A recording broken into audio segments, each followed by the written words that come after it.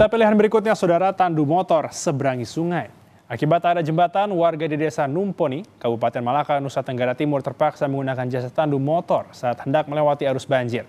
Warga berharap pemerintah bisa membangun jembatan yang telah rusak sejak tiga tahun lalu.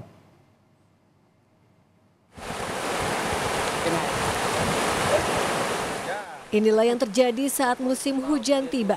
Sungai di Desa Numponi, Kabupaten Malaka, Nusa Tenggara Timur meluap.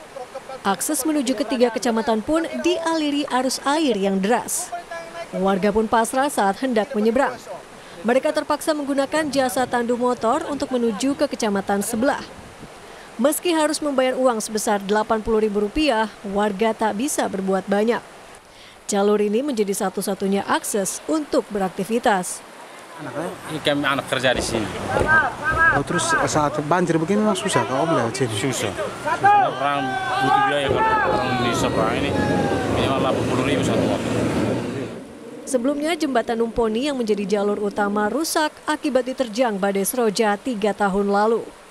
Warga pun berharap agar pemerintah bisa memperhatikan nasib mereka dan membangun jembatan baru. Liu Sikone, Kompas TV, Malaka, Nusa Tenggara Timur.